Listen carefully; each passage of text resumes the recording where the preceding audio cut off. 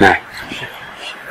من يفرق شيخ بارك الله فيكم بين بين المحرمات قاصد ووسائل ما رايكم هو صحيح في فرق.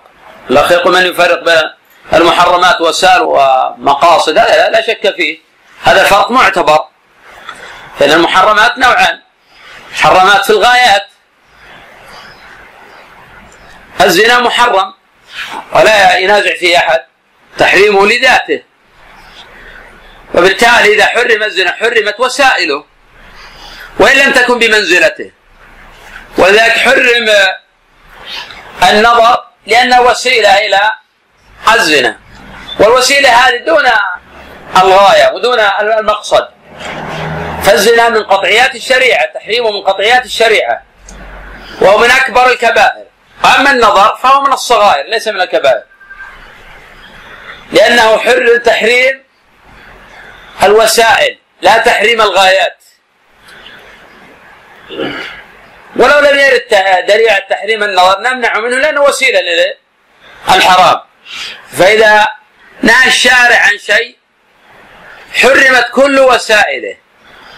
لأن لا يمكن للشارع يحرم شيء ثم يفتح وسائله ويغري النفوس بذلك. الشريعة لا تأتي بهذا. ومن مقاصد الشريعة ان اذا حرم شيء حرمت كل وسائله الموصلة إليه.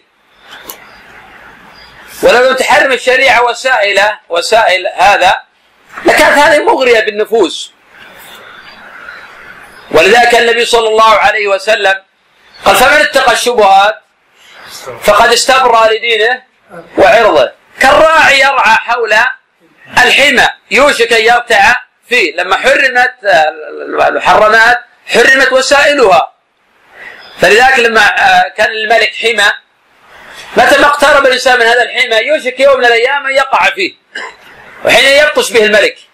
كذلك ان يقترب من يحوم حول المحرمات يوشك يوم من الأيام أن يقع في هذا الحرام يتعرض لمقت الله وسخطه وعقوبته.